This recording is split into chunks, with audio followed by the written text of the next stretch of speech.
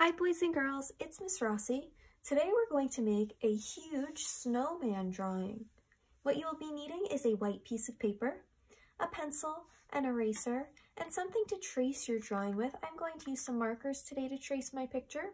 We're also going to need something to color with. I have some crayons, but you can use whatever you have at home to color if you want to use markers, colored pencils, or anything else. Now we got a lot of snow recently, so some of you might even have went outside and made a snowman.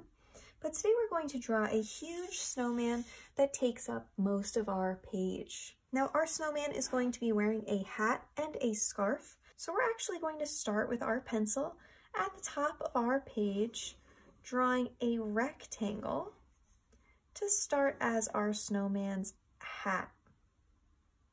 Now we want this nice and close to the top of our page, but we can leave a little bit of space there, but we're gonna make a huge snowman, so we want plenty of space at the bottom. I'm going to add a stripe on my hat by just making another little rectangle.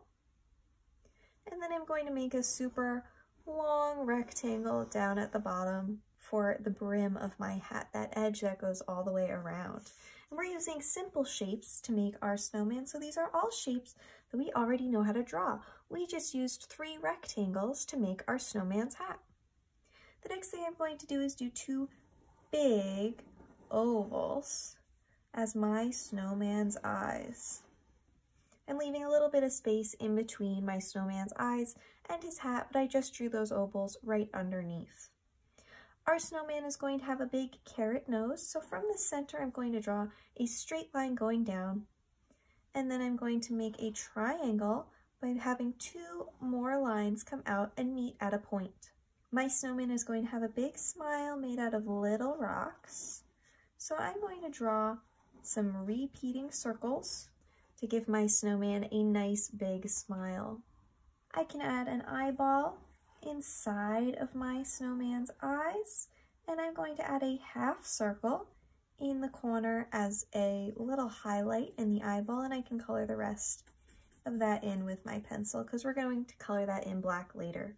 Now I'm going to draw my snowman scarf. So right underneath the mouth, I'm going to do a big smile shaped curve and I'm going to bring two straight lines down and we're going to turn this into a scarf by just connecting that. Now my snowman needs a nice round head, so from the hat I'm going to make a big curve coming down to the top of my scarf. And I'm going to do that on both sides. And from the bottom of my scarf, I'm going to give it a little tail by having two lines coming out, closing it off kind of like a rectangle. You can add some extra little lines on the end if you would like. You can also decorate your scarf. I think I want my scarf to have stripes, so I'm going to make some repeating lines going up and down around the neck, and then I'm going to have them going side to side on the tail. Now our snowman needs a nice big body and we have all the rest of our space on our page to make our snowman's body. Now you can have two sections or two circles as your snowman's body or you can do one giant body. I think I'm going to do two. So I'm going to make one big round oval that came from the bottom of my scarf all the way up to the tail. And then on the rest of my page, I'm going to add the biggest part of the body coming down and curving all the way around. I'm going to give my snowman some nice big buttons. So again, repeating those circles like we did for the mouth, just down the stomach. And I'm going to give my snowman some arms. I want mine to be waving. So from the center piece, I'm going to do two straight lines going up. I'm going to close those off so they kind of look like a twig or a tree branch. I'm going to add little versions of that same little rectangle shape coming out as my snowman's hand. And then on this side, I'm just going to have his arm coming down towards the bottom.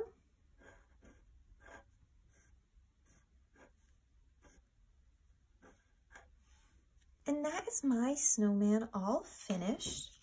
Now that I'm done drawing my snowman, I can add any other kinds of decorations I would like. I think I'm going to add some lumpy snow in the background to show where he's standing. I'm going to put a sun in the sky, with some clouds and maybe I'll draw some snowflakes once I start to color it in. And if you want to draw some other animals or people in the background, maybe you want to draw yourself building your giant snowman, just make sure you make yourself nice and tiny so that your snowman looks extra, extra big, just like the one in the story we read.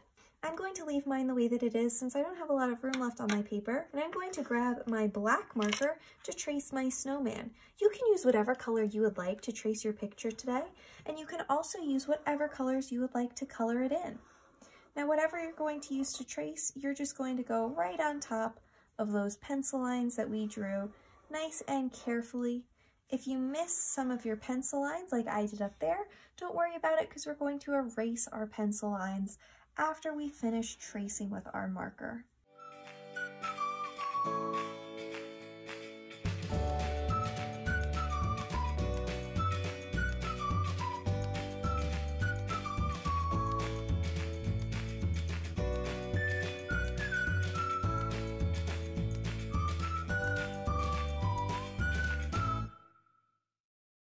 After I finished tracing my marker, I went in with my eraser like I said I was going to do before, just to erase any of those pencil lines I could still see before I start to color. Now you can decide if you want to color in your picture using crayons, colored pencils, or markers. If you have anything else at home and you like to paint your snowman or use other materials, you can do that as well. Now that I finished tracing and I erased, I'm going to use my crayons to color in some of my bigger spaces, and I'm going to use my markers to color in some of my smaller areas. Now, since my snowman is made out of snow, it's mostly white, I'm first going to take a light blue crayon and just give my snowman a little bit of a shadow all the way along the left side. So with my crayon, I picked light blue and I'm just coloring nice and gently along the left side of my snowman.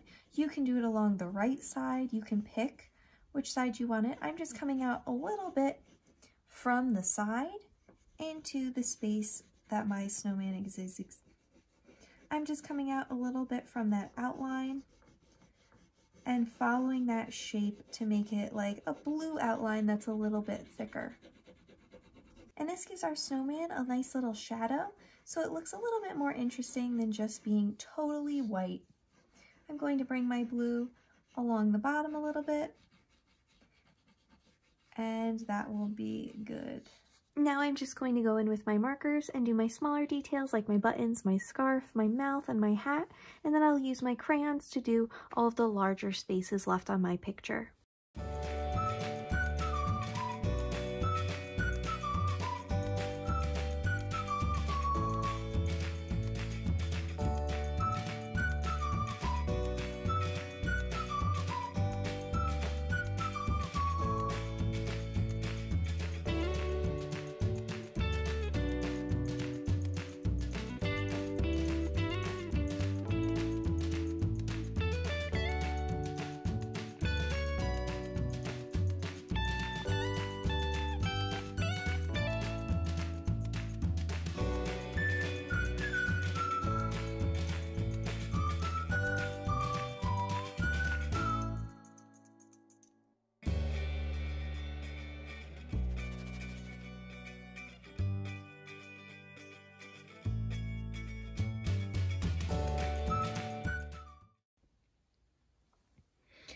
Is my snowman all finished.